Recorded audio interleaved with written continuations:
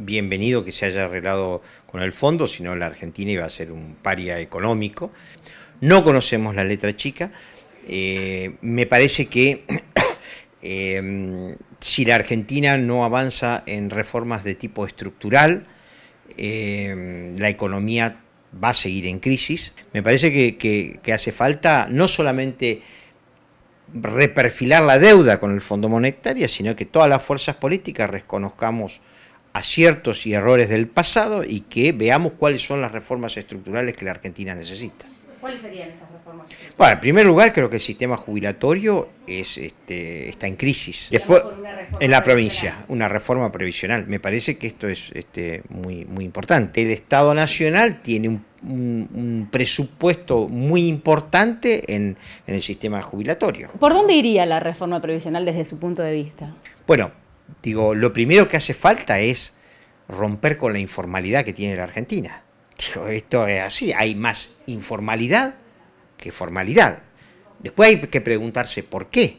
¿Cuáles son las implicancias de tener una auditoría del Fondo Monetario Internacional cada tres meses en la economía argentina? Si usted firma un acuerdo que se compromete a un sendero fiscal, se compromete a niveles de, de, emisión monetaria, si se compromete a niveles de endeudamiento, no tendría problema en que haya una auditoría.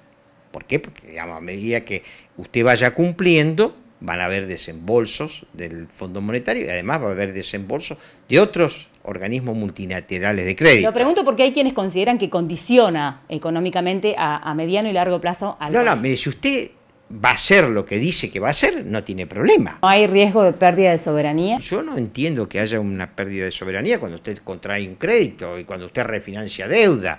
Digo, me parece que la pérdida de soberanía es cuando usted, digamos, no tiene inversión. Para ese sector de la población que está pidiendo que esa deuda no se pague porque consideran que es una deuda ilegal, ¿cuál es la opinión en relación a esto? Y si usted no paga esta deuda, nadie le va a prestar ni el Banco Mundial, ni el BID, ni usted va, a, pretender este, importar de China y China le va a decir, mándame la plata primero y después te pago. ¿Cuál va a ser el posicionamiento, a su criterio, ¿no? de, la oposición en relación a, este acuerdo? Acompañará, hará recomendaciones, podremos estar de, acuerdo en el sistema, en el sendero fiscal, este, pero, pero a ver, lo más importante hoy es preguntarle al oficialismo qué va a ser el oficialismo, porque hoy eh, el presidente hace toda una apología de un acuerdo que se ha logrado y el, Máximo Kirchner, quien preside el bloque de diputados, renuncia porque no está de acuerdo. Con la marcha del primero F que se va a desarrollar hoy en distintos puntos del país, en la provincia de La Pampa también fue convocada la marcha para hoy. ¿Por qué se la considera sediciosa? Mire,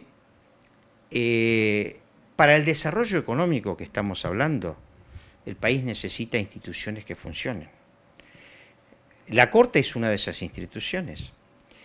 Eh, digamos, hace a las divisiones de poder, hace a un Estado de Derecho y hace al funcionamiento de las democracias republicanas. La forma de eh, eh, nombrar los jueces, la forma de nombrar los miembros de la Corte y la forma de removerlo no es con las marchas. Digamos, hay un juicio político, se va a la Cámara, se acusa, se va al Consejo de la Magistratura. Entonces, eh, digamos, nosotros no aceptamos que haya este, eh, que haya eh, este tipo de procedimientos no democráticos que atentan contra uno de los poderes del Estado. Pero digo, Queremos el... no democrático salir a la calle a decir, bueno, no, no, no, no, no nos representa. No, no, no, no.